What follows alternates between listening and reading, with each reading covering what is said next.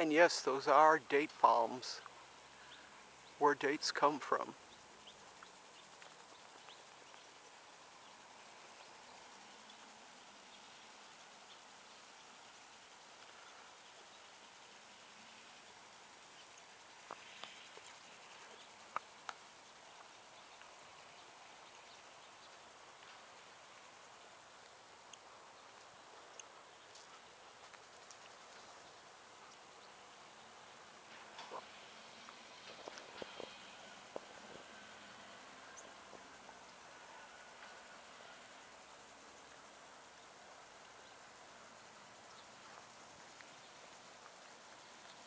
This is the area looking towards the lake where we'll be heading once the sprinklers lay down for a while.